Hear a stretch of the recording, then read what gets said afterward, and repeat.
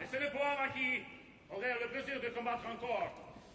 Qui êtes-vous Répondez Et eh là, doucement. Je suis Escamillo, torero de Grenade. Escamillo, c'est moi. Je connais votre nom, soyez le bienvenu, mais vraiment, camarade, vous pouvez y rester.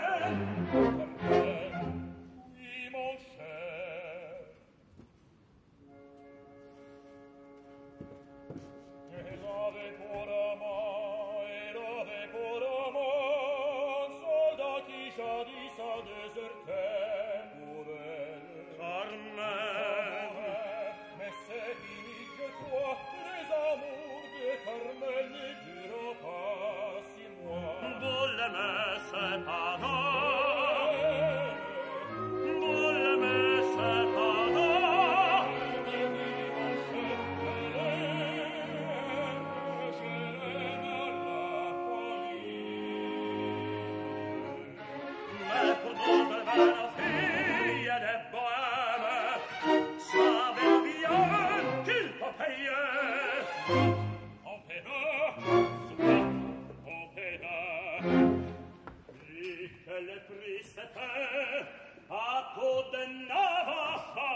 Ako de navaja.